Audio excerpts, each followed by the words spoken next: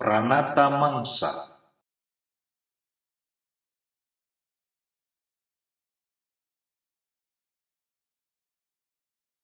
Kasa Woods were dry, leaves fell down, land were cracked and dry. The time to burn the bushes, leaf and branches. A time to cultivate second crops. The grasshopper laid eggs. Karo. A resurgence of growth was observed, including the living out of the randu tree. Katiga. The east monsoon brought the hottest days and coolest nights of the year. Crops ripened and were harvested. Potatoes began to show young leaves. Wells and ponds were dry. Bamboo shoots began to grow. Kapat. Farmers start to preparing the tools. Randu trees began to grow their young seeds. Manyar birds were weaving their nest. Gelatik birds were in the fields.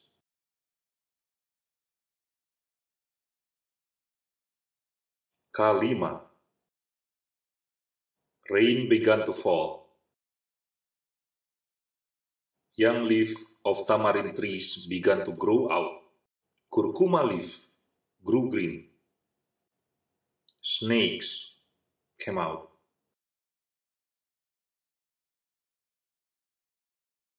Kanem. The ripening of mangoes and other fruits.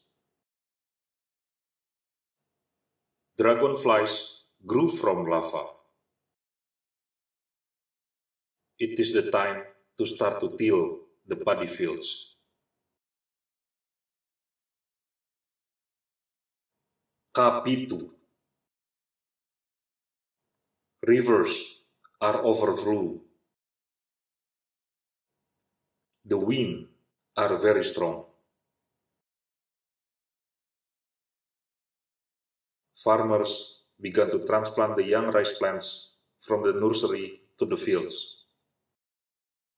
The insects is coming. Kawalu. The rice plants would shoot above the surface of the water and begin to blossom.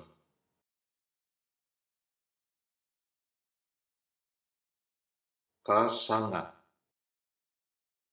The blooming of Galaga, the wild sugarcane grass. Kadasa. The wind began to shift to the east. The rain stopped. Some animals became pregnant. The rice ripened, and the harvest began. Desta. The harvest was in full swing.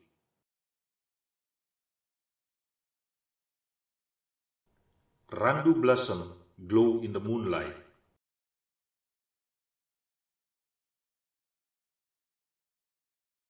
Sada. The harvesting is finished. Stubbles were left in the paddy field.